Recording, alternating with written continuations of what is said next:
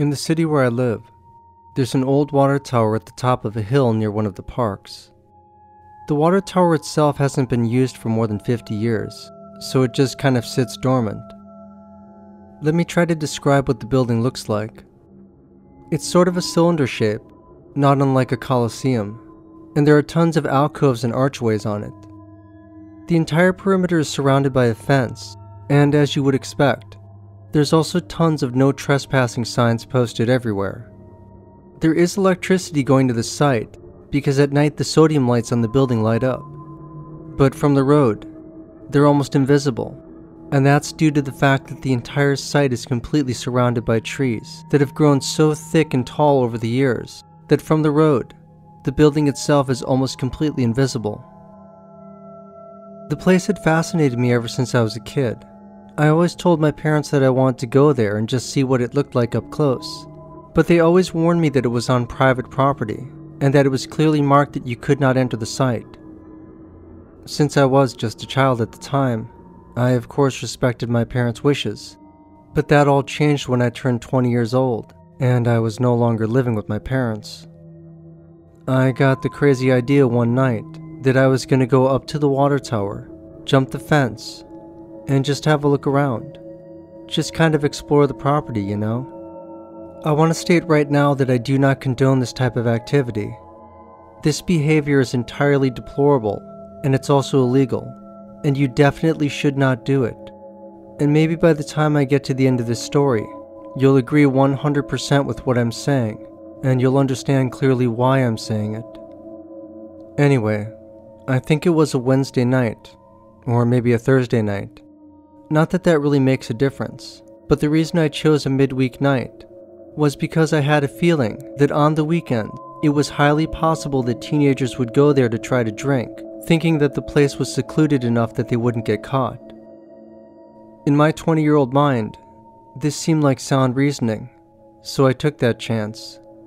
I guess in a way it was just kind of selfish reasoning. I wanted to enjoy this experience alone, and I didn't want anyone to spoil it for me. And on this particular night, I did exactly what I said I was going to do. I went to the site around 10 o'clock, and I jumped the fence. My first impressions were a bit underwhelming. I don't know what exactly I was hoping to see, but in my mind, I just pictured it being different. Maybe more creepy, maybe better lit. I'm not really sure. I just pictured it being different. The lighting really wasn't that great there. Again, the place was illuminated by sodium lights, but they were old, very yellow and very dim. A few of them were even burned out.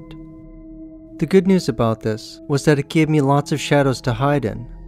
The bad news was, I didn't bring a flashlight with me that night, so I had to be extra careful where I was walking. I didn't want to trip and hurt myself. This was before cell phones became a really popular thing, so if I did get some sort of an injury like a broken leg, I was screwed. I hadn't been on the site for more than two or three minutes when I started hearing voices. Naturally, the first thing in my mind goes right back to what I said about teenagers looking for a place to drink. I thought maybe they were getting an early start on the weekend or something like that.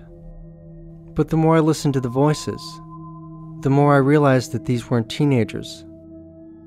The voices were much deeper, more mature, and had kind of a gravelly tone to them.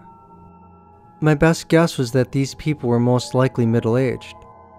I probably should have taken that as my cue to get out of there, but I got kind of curious, and I slowly made my way through the shadows to where the voices were coming from. After only a few moments, I could finally see where the voices were coming from. Imagine my surprise when I saw four figures standing about 40 feet away from me, inside of the fence line. They were far enough away and speaking quietly enough that I couldn't really understand the extent of their conversation. But I did pick up on a few key words that stood out to me. One of them was the word money, and the other was the word stuff. Even though these four individuals were quite a distance from me, there was just enough lighting that I could see money exchanging hands, as well as some bags. It was at that moment that it hit me. that I was witnessing a drug deal. I did my best to stay quiet as I slowly worked my way back to the area that I had jumped the fence. At this point, my heart was beating a million miles an hour, and I started panicking. As soon as I got what I thought was a safe distance from them, I did my best to jump the fence in one clean move, but my shoelace got hooked, causing me to hit the ground with a thud, as well as shake the whole fence. I immediately picked myself up and started running, and what happened next still gives me nightmares. I can hear shouting behind me, and two distinct pops as bullets whiz past me while I'm running. At that age, I was actually a pretty fast runner, so I booked it for home as quickly as I could. I'd like to tell you that I called the police and that they caught these four guys, but that's not what happened. I didn't call the police. I was afraid of getting fined for trespassing, or possibly even arrested. I just thank God that I didn't get killed that night, because the probability of that was extremely high. So here's my advice to anyone that's into things like urban exploration. If it's private property, please just stay out. I absolutely could have gotten in trouble with the law for what I did that night, but I also could have lost my life. I want you to think about that.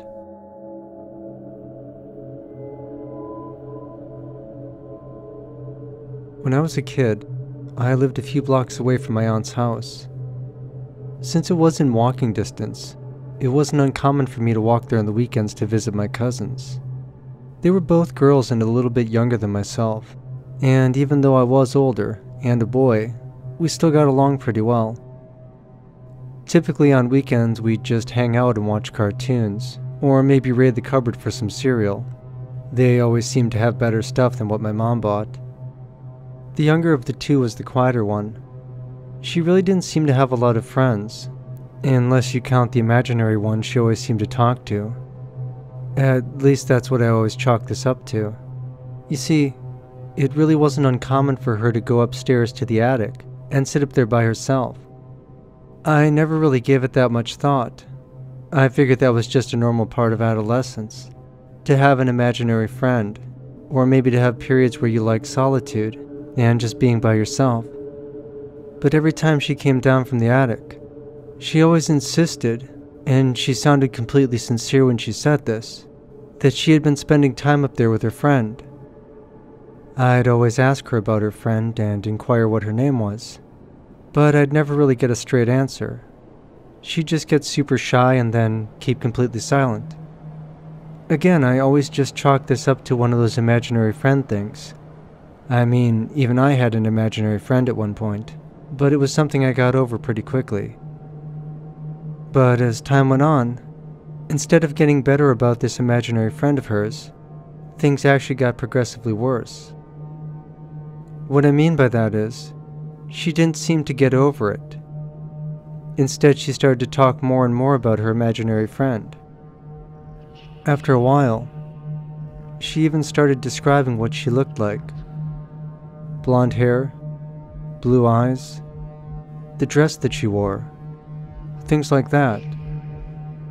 Considering how young she was at the time, I thought she had quite an incredible imagination, because her description of this girl was very specific, and it never really changed.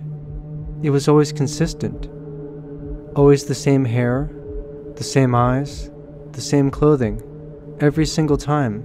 It almost became a running joke between my brothers and I.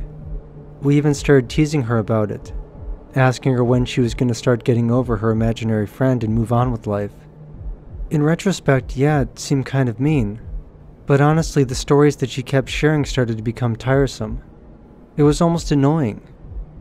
Maybe I was being a bit harsh back then. By the time I was 10 years old, we had moved to a different house, and as such, we didn't visit my cousins as much anymore. And when we did, I never brought up the imaginary friend with my cousin. I never made any mention of it. To be honest, she stopped talking about it too, but I think that was only because we used to tease her so badly about it. By the time I was in my early 20s, my aunt had moved out of that house and into a different one. And since the place was for rent, and I had a lot of fond memories there, I decided to move in. I want to say I had only been in there for maybe a few weeks when I started hearing banging noises coming from the attic. This wasn't something that bothered me that much, and I really wasn't that concerned about it.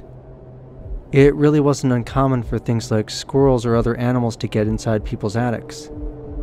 I always figured that's what it was, so I never really did much investigating, unless you count going up there to put down traps or things like that. Otherwise, I really never spent much time in there after I'd moved in. As time went on, and I got more used to the place, it actually got easier to ignore the noises. But the weird thing is, it seemed like the more I tried to ignore them, the louder and more obnoxious they became. Every few weeks, I found myself going up into the attic to take out the traps. And to be honest with you, I could probably count on one hand the amount of times the traps actually caught something. Eventually, I did find out where the animals were getting in from, and I was able to patch the holes and block them off. I kind of figured that would be the end of it. But within the following weeks after I first patched a hole up there, the noises started up again. One night after work, I was laying in bed, and I started to hear the banging noises again. I figured I should call an exterminator in the morning, so I grabbed the nearby phone book and circled one of the numbers. I tore the page out of the phone book and stuck it under my phone, so that way I'd remember to call them in the morning. By the time I had laid back down in bed, I noticed that the noise coming from the attic had changed. This time, it sounded like footsteps. Not full grown footsteps, but these were more childlike. That's the best way I can describe it, I guess. Very small and very delicate, but very obvious. They sounded just like a child running across the floor, struggling to regain their balance, like the way a toddler runs just after they learn how to walk. At this point, I figured it was just a larger animal, like maybe a raccoon or something but again, this didn't really sound like an animal. After a few more minutes of this, the footsteps sounded more frantic, more hurried.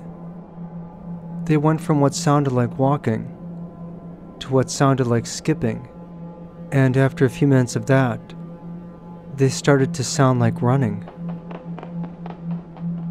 A few moments later, I heard a crashing noise coming from the attic. I quickly opened the attic door, flipped on the light switch, and made my climb up the stairs. By the time I could see over the top stair, I saw what the crashing noise was. Something had knocked over a box of Christmas tree ornaments, and the bulbs had shattered all over the floor, leaving glass everywhere. Again, I was thinking an animal had done this, and as I said, I had already planned to call an exterminator in the morning. I went back downstairs to grab a broom and dustpan, and then made my way back upstairs to clean up the mess. As I began sweeping the glass up, something in one of the dark corners of the attic caught my eye. It was almost like a faint blinking light, flickering on and off, over and over again. It started out as one light, and then it was two lights they glowed kind of strangely, kind of like how a cat's eyes would glow when you shine a light on them. I finished sweeping up the glass and went back downstairs to grab a flashlight. I made my way back up the stairs, and when I shined my light into the corner where I saw the flashing light coming from, I could finally see what was making the light. There in the corner of the attic was a doll. As I approached it, I noticed that the eyes looked like they were blinking. This freaked me out a little bit, but I still decided to pick the doll up and have a closer look. When I picked the doll up and stood it upright, both the eyes opened up. And when I tilted the doll as if laying it down, both the eyes closed. I had seen these types of dolls when I was a kid, they were the kind that were supposed to look like they were sleeping when you laid them down, and awake when you stood them up. I kind of chuckled about this for a moment, because when I looked at the way the doll was dressed, as well as the eye color and hair color, I noticed that this exactly matched what my cousin had described when she talked about her friend in the attic. I figured that was it. Mystery solved. And again, I had a good laugh about it. I placed the doll back down in the corner and made my way down the stairs, shutting off the light and closing the attic door. Before I'd even taken one step away from the door, I heard something behind me. It was very faint, but very distinct, like a giggle or a laugh, a child's laugh, coming from just behind the attic door. I don't know why I did this, but I slowly opened the door back up and when I looked up at the top of the stairs, I saw it. Two small blinking lights, just like the ones I saw in the corner of the attic where the doll was. Only this time, they were at the top of the stairs, in complete darkness, looking down at me. I quickly slammed and then locked the door, vowing to myself never to open that door up again under any circumstance and to never go anywhere near that attic. I stayed at that house for maybe another six months before moving out, and every night during those six months, that banging noise continued. Whenever friends would come over and they'd ask me what was upstairs, I'd always tell them it was storage. And whenever they asked about those banging noises coming from the attic, my reply was always the same I really need to call an exterminator. This happened around four years ago when my car had broken down and I had to walk to work. I was working second shift at the time, and that meant walking home at around midnight every night. This really didn't bother me because the city was fairly safe. I lived in the kind of city where it was routine for the police to go up and down the business districts and check the locks on all the doors. Again, it was an extremely safe city. Almost nothing bad ever happened there, this was late October or early November, and the temperatures were starting to drop. On a couple of occasions when I was walking home, we even had freezing rain. I unfortunately had the bad habit of never properly dressing for the weather, because I never was the kind to plan ahead. So, as such, I tried to get home as quickly as possible every night. One night on my way home, it was particularly cold, and I was only wearing a spring jacket. I was getting pretty good at navigating the city on foot at this point. I figured I could save about 15 minutes by cutting through a semi wooded area. It really didn't seem like a bad idea at the time, and I certainly didn't think it was dangerous for me to do it. I figured worst case scenario would be I'd trip and sprain my ankle or something like that. But again, I was freezing and I just wanted to get home, so the thoughts of anything more dangerous than that really didn't enter my mind. After just a few minutes, I had worked my way through the wooded area, and I could see pavement up ahead, which meant that I had found my way back to the road. My sneakers had barely touched the pavement when I saw headlights approaching. I, of course, thought nothing of this and continued walking. Within about 45 seconds, I could see that the vehicle that was approaching behind me appeared to be some sort of a tow truck. It was extremely rusty and very old, like something you'd see on a black and white TV show. At first, I thought it might be one of the work trucks from one of the local garages. But as it drove past me, I didn't see any decals on the side that I recognized. The truck had gotten about 15 or 20 feet ahead of me when it slammed on its brakes. And I don't mean it slowed down, I mean the truck just came to a dead stop. To be honest, this did make me a little bit nervous but I tried to ignore it and just continued walking.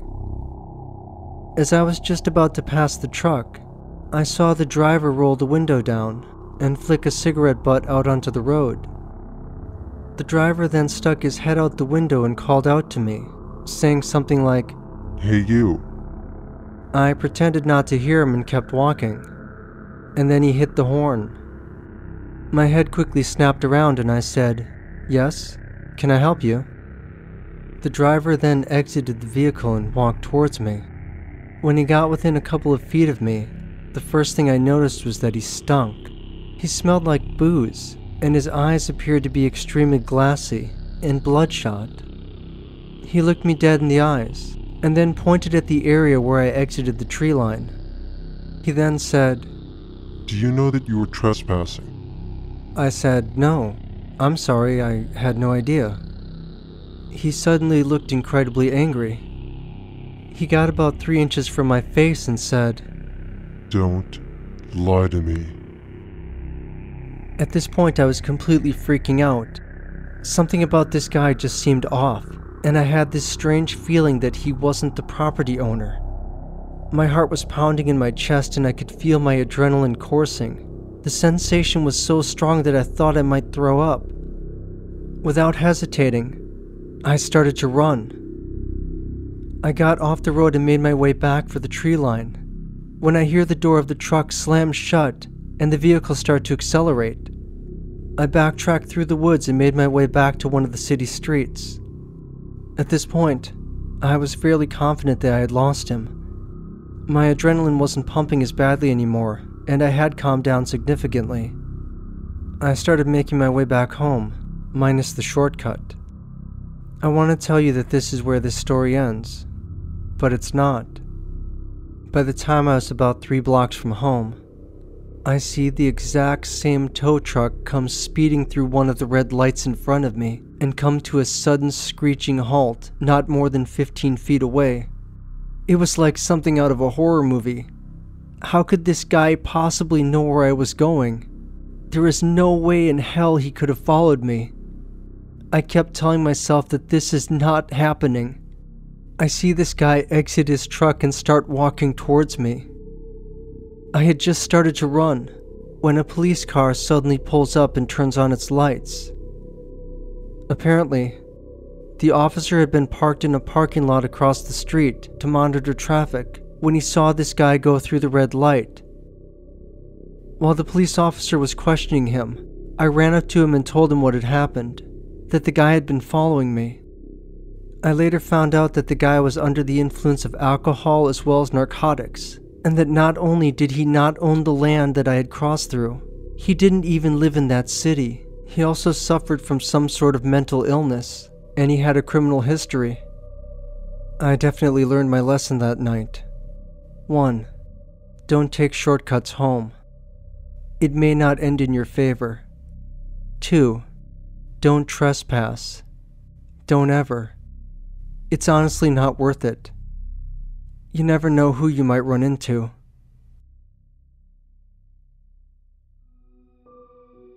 I've had a few run ins with the paranormal.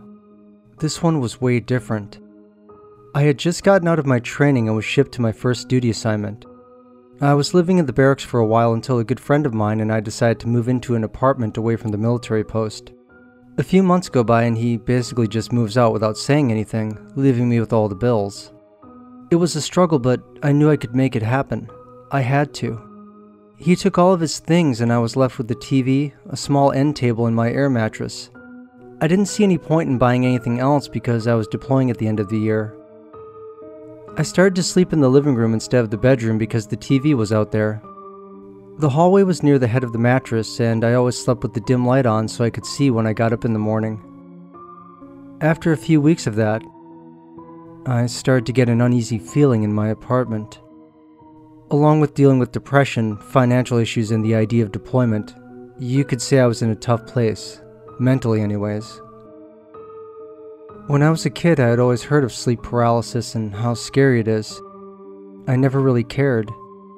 I figured they were just kidding. I never thought it would happen to me.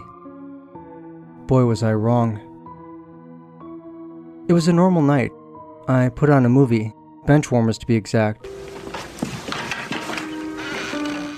I fell asleep.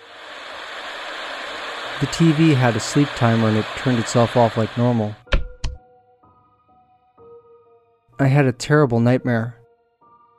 I can't remember what it was about exactly, I just remember the horrible feelings I had from it.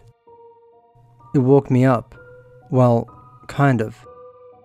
I was awake, but I couldn't move. I felt as if I had sunk into the bed and the only thing that wasn't swallowed was my head. Like any other person would have, I tried to yell for help, even knowing I lived alone. I was hoping and praying someone would hear me. With no such luck, making small noises because I couldn't yell, I kept fighting until I was able to open my eyes. When I did, I felt pure terror. All I could see was a black figure standing in my hallway. It didn't do anything except stand there. I still wasn't able to move. All I could do was look in fear. I could feel it looking at me, even though it didn't have any facial features. After what felt like an eternity, it just kind of faded away, almost like it walked backwards towards the other bedroom. That's when I slowly gained control and I was able to move. My instincts told me to get the hell out of the apartment, but I knew I had to do something. I ran through my apartment, turning on all the lights as fast as I could. Finally, I got to the bedroom. I crept over to the door, peeking through the crack. I grabbed the handle and pulled it closed. I hung a cross on the door. I packed up a few things for the next day and I left as fast as I could. I went to work like normal. I felt like I was going completely insane, so I didn't mention it to anyone. When I got back home, I can honestly say I was almost too afraid to go inside.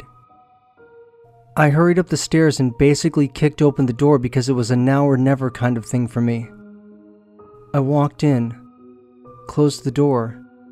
Everything seemed normal. Nothing was out of place. I went on about my day like it didn't happen. Falling asleep that night wasn't easy, but I eventually did. I had a feeling that this wasn't the last time I would be experiencing something like this. After the first time I had sleep paralysis and saw this shadow man, that's what I'll call it, everything seemingly went back to normal. I went to work, I came home, I slept okay, no problem. It went on like this for a short while. About three weeks after the first time, I saw it again. Except, I was wide awake this time. I was sitting on my bed and watching a movie relaxing after a hard day's work. I got the feeling that I wasn't alone. So I slowly looked around the room and there it was, standing in the hallway again, but a few feet closer this time. I was frozen with fear. I didn't know what to do at that point. I stayed up the whole night looking around the room. That morning, I couldn't wait to go to work. Jump ahead a few months. I had almost gotten used to seeing it every once in a while. Of course, it still scared me half to death for a second. I eventually got sick of it creeping me out, so one night I yelled at it to leave me alone. I live here. Go away. Or something along those lines. Maybe some other choice words. After I passed out, I woke up, left the house to run some errands, and when I got home, it was a different story this time. All of my stuff had been moved around. Cabinets were opened in the kitchen. Basically, everything was moved or destroyed. This was the end of my rope. I packed up my things and headed to the barracks. I was deploying in a week, so I didn't care much. Jumping forward once again. After a year long deployment, I finally returned home, physically unharmed for the most part, but mentally scarred. My deployment was rough. I ended up living in the barracks for a short while, maybe a week or two. I eventually went back to the same apartment complex, but a different building. I felt okay in this one. The depression had become worse along with my PTSD from combat, and I ended up in an even worse place than I had been before I left. My friends kept me going though. They made me come out with them pretty often. I ended up meeting someone. She was great. The first time I invited her to my apartment to have a movie night, she got to the door and refused to come in. She told me it wasn't anything I did, it was that she could just feel things, hear things, and sometimes see things. She told me that my apartment wasn't safe and that I shouldn't go into it. The way she said it, the fear in her eyes. I could practically see her heart beating out of her chest. I decided to take her home, and she said a prayer for me.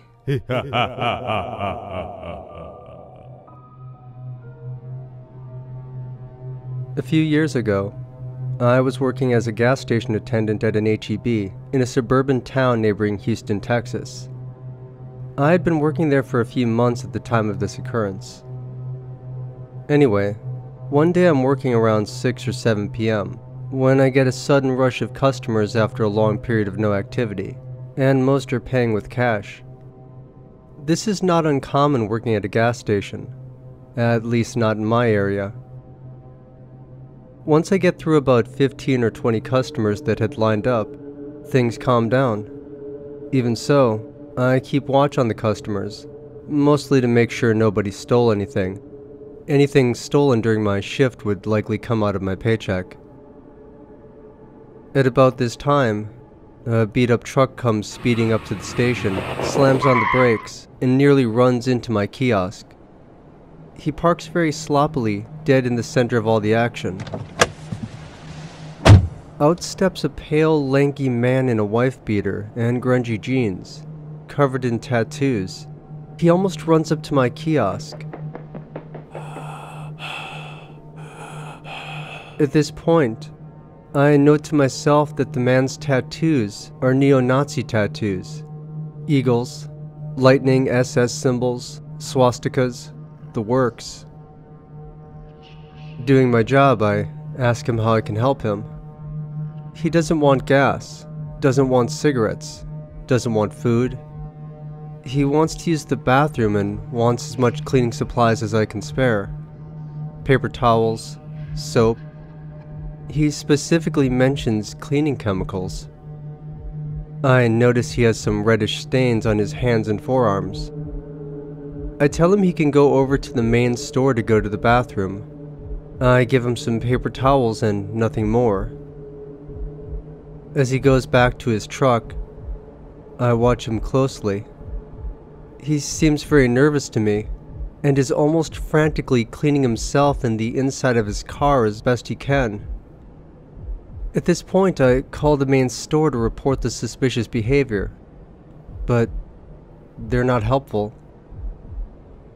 I notice at this point that his passenger window has been more or less shattered, and he's pushing the many remaining shards out of his car and onto the pavement. I see that he sees me on the phone. Almost immediately, he gets the car going and drives off, but stops in the parking lot. He's there for less than a minute and then speeds off. It's getting dark at this point, I want to investigate more or call the store again, but I get another wave or two of customers, and my hands are tied. About an hour later, I finally get a chance to clean up the giant mess of shattered window the guy left for me. Upon closer inspection of the shards, I find large clumps of black curly hair amongst the debris. They appear to be from someone's scalp, and they appear to have blood on them. I get some latex gloves from the kiosk, put them on, and use them to pick up the hair clumps and put them in a bag. Like something out of CSI. I called the main store again with the news, and my supervisor doesn't seem particularly concerned. At the end of my shift, I turn the evidence over to my boss, and he says he'll take care of it. A few days later, I checked with my boss to see what happened with the evidence. He said the police weren't going to investigate. Go figure. When I was about 13, my parents and I moved to an old house. It was at least 90 years old it was large and in pretty good condition for a house that old. I was an only child. I got the second biggest room on the second floor, and that room was huge. Sometimes my parents left me at home by myself for a few hours. Whether they were going shopping or on a date, I always asked to stay at home. I didn't mind staying at home because I had liked to think of myself as responsible and trustworthy. It made me feel special. One night at around 6 p.m. or so, my parents had to go run some errands. They were the kind of people who spent long hours out shopping for the best deals and they used a lot of coupons on whatever they could. And I didn't want to be involved in this at all, so I decided not to come. I stayed in my room and watched some TV. Then, at around 8 p.m., I got hungry and decided to get a snack. Now, at this point, the house is very dark, so I grab my cell phone and use it as best as I can to light up the hallway since the hallway didn't have a light. Now, this was before cell phones had built in flashlights, so I just used all the light my screen could give until I made it to the kitchen. The kitchen light had been left on by my parents. I put my phone on the counter. As I was walking to the pantry, I saw a man hunched down in the corner by the back door. He was wearing black and red clothing and he had long, greasy, unkempt hair. I didn't see his face because his head was facing the wall. He was holding a large knife. He didn't notice that I had spotted him. I wanted to scream, but I used my hand to cover my mouth and walked back upstairs, leaving my cell phone down there. I was not walking over to get it. We didn't have any phones upstairs, so I walked into my room, locked the door, and I hid in my closet. I start crying silently and start thinking the worst. He was going to find me and kill me. I just knew it. Then I heard someone coming up the stairs. I felt sick and I had never been so afraid in all my life. Then I heard someone open the door to my parents' room which was two rooms away from mine.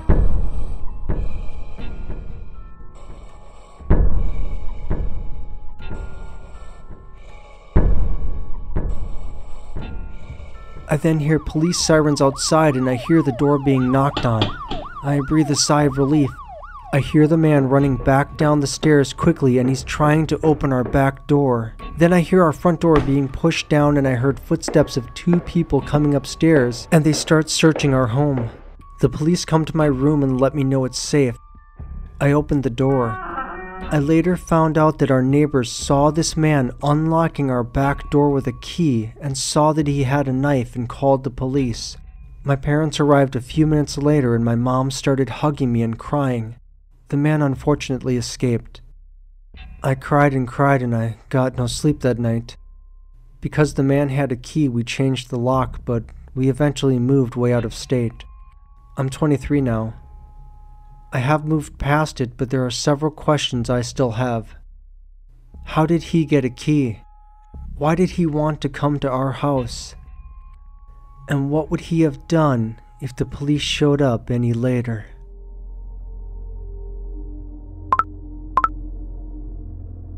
For those of you unfamiliar, Snapchat is a messaging app that allows users to send pictures and videos for up to 10 seconds to each other. It's a lot of fun and is something I use on a regular basis. Once the photo is viewed, you can't look at it again unless you screenshot the image. It was starting to get late. I was bored out of my mind watching Netflix, and I needed something to do. I had the brilliant idea of going on Omegle. Of course, this led to a lot of naked men and porn ads. I was about to go find another distraction when I finally found a normal match on Omegle. It was a dark room with a cute looking young woman sitting in front of her webcam. I figured it was fake and it was going to be a screamer or some prank. After an awkward silence, I was about to click next when she said hello. Immediately following that was the text Hit me up on Snapchat, Sasha247. I pulled out my phone and added her just for the hell of it. Right as I added her, she disconnected. I sent a snap saying, What's up? I was just on Omegle, and proceeded to wait. It was around 1:30 in the morning now, and I went back to watching Netflix. At 2 a.m., I got a reply. It was her. It was a picture of her car, followed by the text, On my way, baby. I simply responded with, Be safe, lol. I then fell asleep.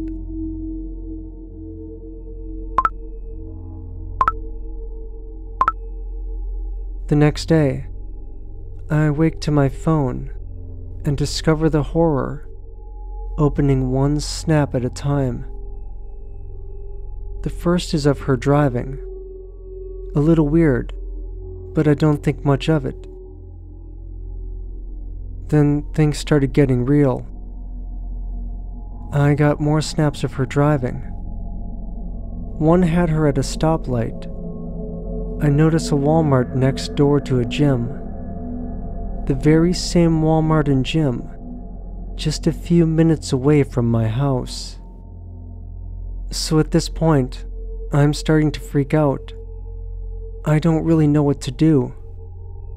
I open another snap of her entering my neighborhood, accompanied with the text Get ready. The final snap is a 10 second video of her filming my house. This all happened to me last night, and I've already notified the police. This seems like it could be someone in my area looking to freak people out as a prank or something. But has something like this ever happened to any of you? I've never felt so scared before in my life.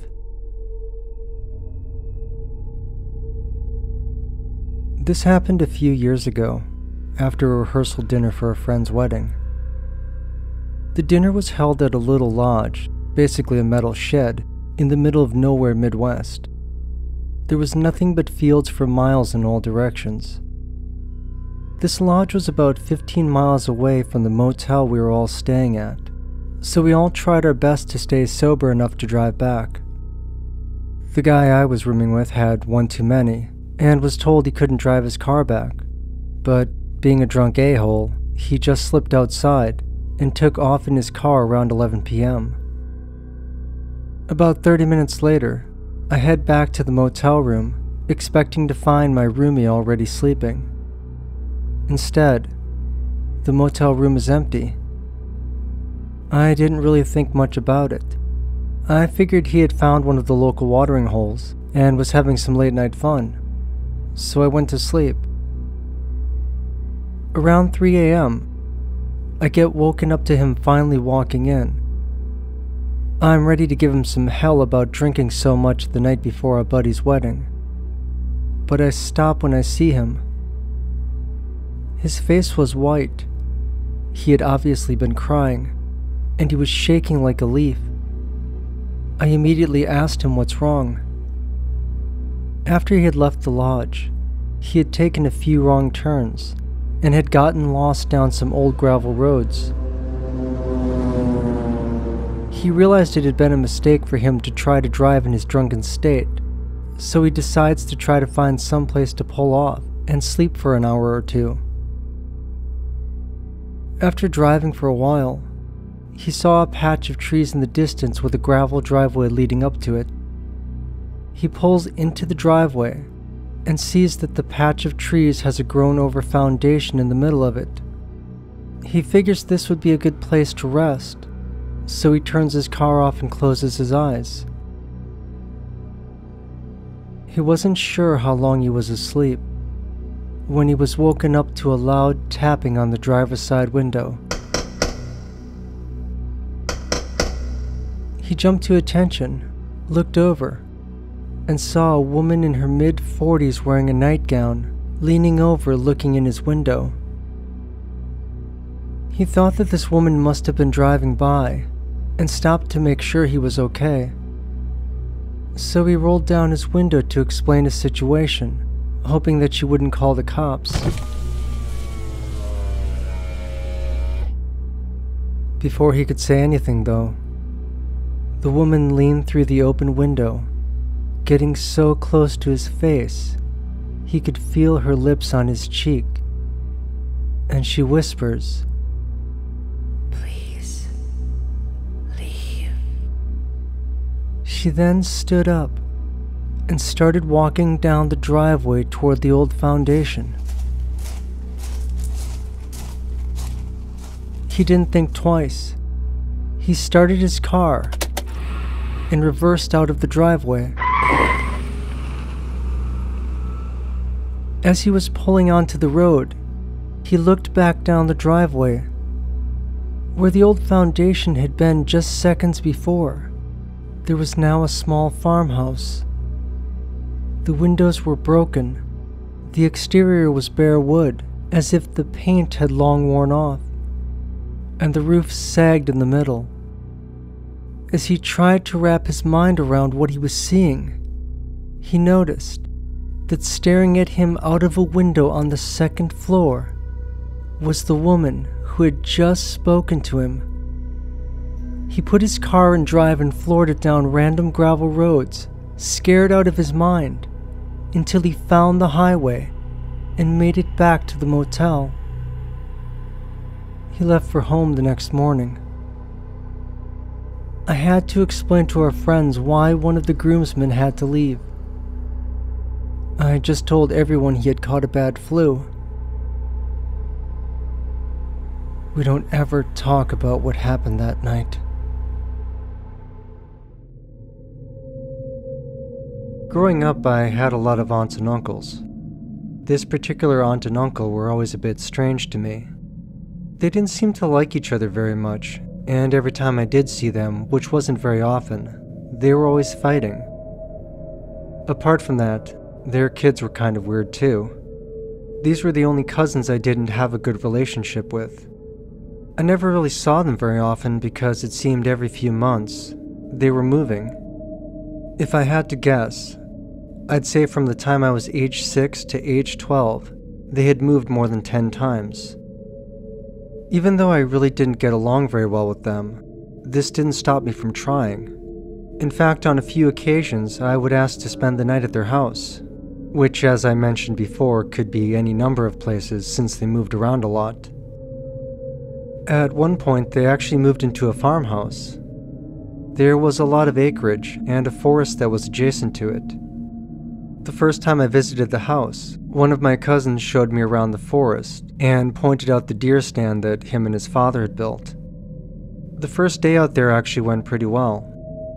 I didn't see my aunt and uncle much that day, but I did spend a lot of time with my cousins, and we were actually getting along. We played video games, watched MTV, listened to music, and they showed me around the house. It was actually kind of fun, and I have to admit I was enjoying myself. The first night there, sometime after dinner, one of my cousins and I snuck into my aunt and uncle's room. She told me that she wanted to show me a secret room that was in there. This sounded really cool, so I went with her. I immediately felt disappointed when she opened the closet door. She was a little bit younger than me, and I tried to reiterate to her that this was simply a closet where people would store their clothing. She started to giggle and just kind of shook her head at me and said, No, not the closet. It's inside the closet. I'll show you. Inside the closet and a bit to the back, there was a small crawl space on the right. I watched as she climbed inside the small crawl space and then stretched out her hand as if indicating she wanted me to go with her. I've always been a bit claustrophobic, so naturally I hesitated. I think that she could sense this, because she came back out. I told her I didn't want to go in there if there was no light, and she assured me that it was fine. All you had to do was feel your way around. At this point, I started asking questions, mostly because I was a bit nervous. Stuff like, how far back does it go and what's inside there? She told me that it went back quite a ways, and that she wasn't sure what was inside of it because she never took a light with her. She just kind of felt her way around. The one thing that she did mention that struck me as kind of creepy was that as you went back, it would start to feel like you were going down a hole. I guess architecturally, this really didn't make any sense. I mean, why would there be a hole inside a crawl space in a closet? What could that possibly be used for? After a few moments of this conversation, she went back inside the crawl space and said, There's nothing to be afraid of. I'll go inside first and show you, and then I'll come back out. Then you and I can go in together. Okay? For some stupid reason, I actually agreed to this. And I watched and listened as she went inside the crawl space and seemed to vanish into the darkness. It seemed like she was in there for a long time, but in reality, it was probably only a few minutes. She peeked her head out the crawl space entrance and said, Come on. And reluctantly, I went inside with her. The crawlspace was extremely small, quite narrow. In fact, we had to be on our hands and knees to get through it, literally crawling as we went. I had only gone a few feet before we were crawling in complete blackness. As I mentioned, I'm highly claustrophobic, and I was beginning to have a bit of a panic attack. I couldn't see anything, and the only way I knew my cousin was still in front of me is every couple of seconds I would reach out and tap the bottom of her foot just to make sure she was still there. The air inside was extremely dusty and I started to cough. I had only been inside a few moments and I decided I had had enough. I had made up my mind and I backed out of the crawl space. The rest of the night, she didn't talk to me. I think in a way I had kind of let her down. She probably expected me to be super brave or something like that. But to be perfectly honest with you, I was terrified. Not just because it was claustrophobic, but there was something about the darkness there that just didn't sit well with me. Something inside that crawl space didn't feel right. I couldn't put my finger on it, but I didn't want to spend another moment in there. I just felt like I had to leave. Something inside my head was telling me to get out, and I wasn't about to ignore it. The next morning, my cousin was kind of teasing me about the whole thing, calling me a fraidy cat and saying that she didn't know boys were afraid of the dark. Yeah, this made me mad. Of course it did. I mean, she was seven years old and calling me a coward. How could I not be upset by this? It's gonna sound really immature, but I got sick of being teased. I got mad at her. I just wanted her to stop calling me a coward, and I told her I was gonna prove to her that I wasn't afraid. I decided to go back up to the closet and go back into the crawl space by myself. I told myself that if she could go in there alone, then so could I. And that's exactly what I did. We went back up to the closet and she stood outside as I made my way slowly into the crawl space and started to crawl on my hands and knees to the right. I had only been in there for a few seconds and my heart was already in my throat. Nothing seemed to be calming my nerves. My fingernails were practically digging into the wooden planks beneath my hands. I was starting to sweat, and not because it was hot in there, but because I was terrified. Despite this, I kept moving. After about a minute or two of crawling, it dawned on me just how far back this crawl space actually went. I didn't have a light with me or anything like that, so I couldn't see which direction I was going or what exactly I was touching. I just kept feeling in front of me, hoping that I didn't fall down any holes or shafts. After a few more tense moments, I could feel what she was talking about when she described this hole an incline in the floor that didn't seem to make sense. I made my way slowly down the incline, which only seemed to grow steeper the further in I went.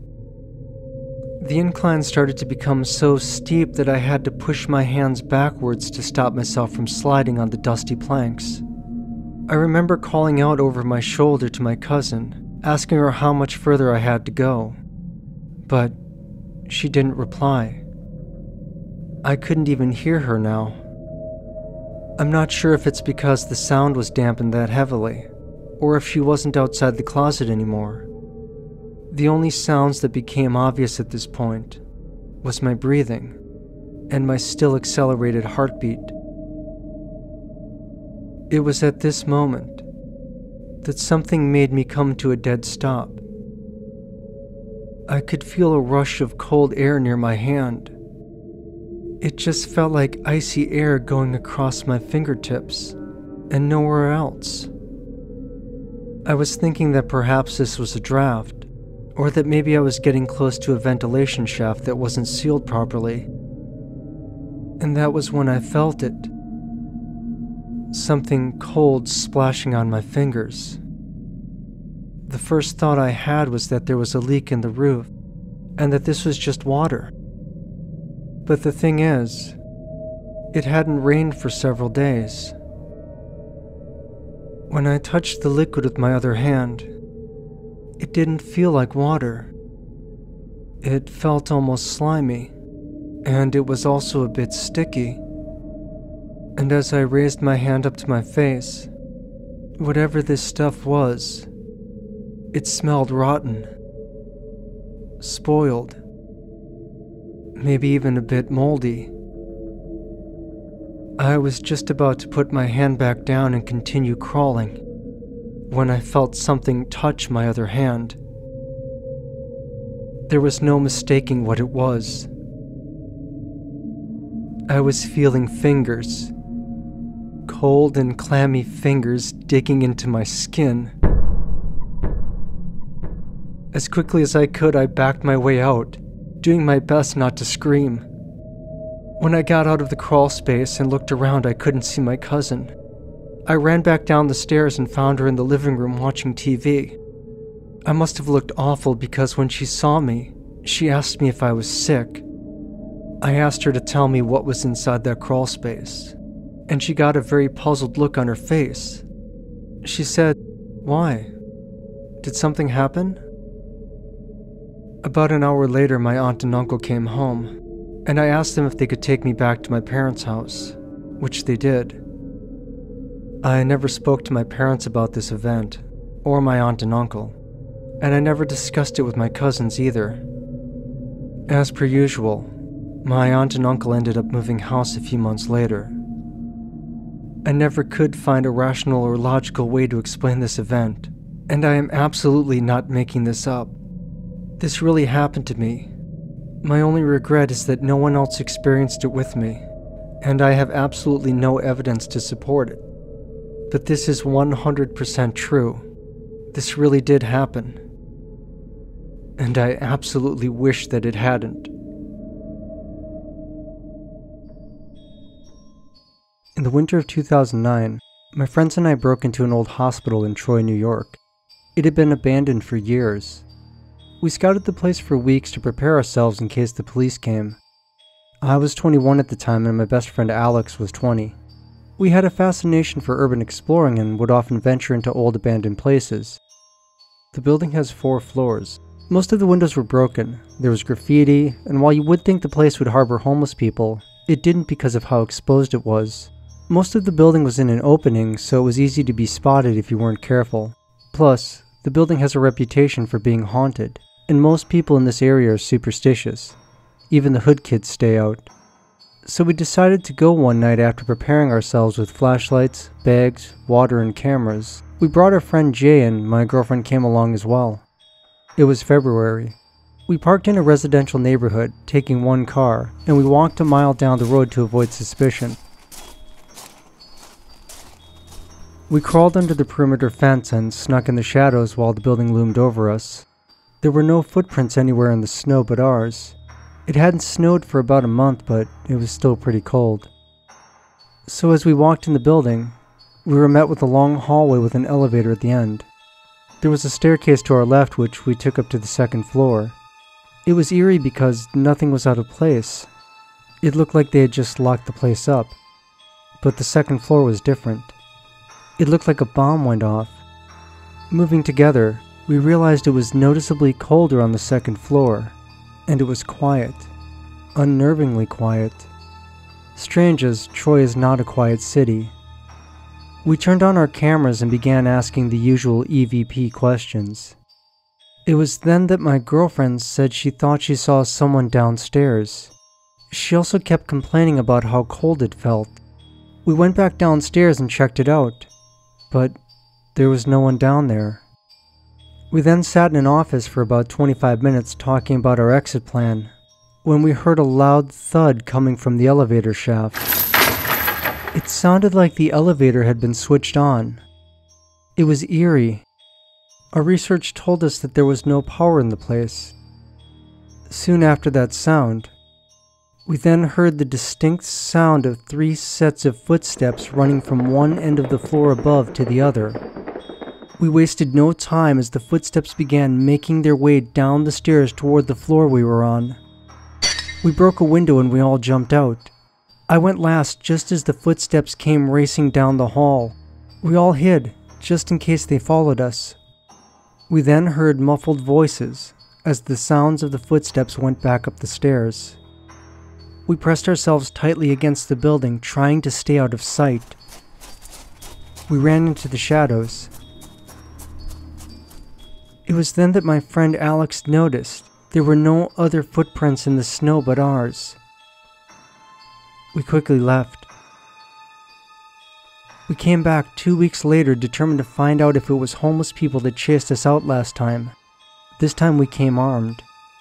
I had a bat and a maglite, while Alex and Jay had knives and a BB gun that looked like a 9mm. The first two floors looked the same, so we made our way up to the third floor. It was creepy. There was nothing up there. It was completely empty and open with holes in the walls. We also checked the elevators again and they definitely didn't work. We went up to the fourth floor and once again, it was completely empty like the third. We went back down to the first floor, feeling reassured that there was probably someone hiding out there last time. But we couldn't get over how there were no other footprints in the snow but ours. As we left for home, I drove by the building once again. It was then that I saw three figures, all in different windows, on the third floor. My skin crawled we had checked that floor. It was completely empty and there was nowhere to hide. We've never returned there. And we never will.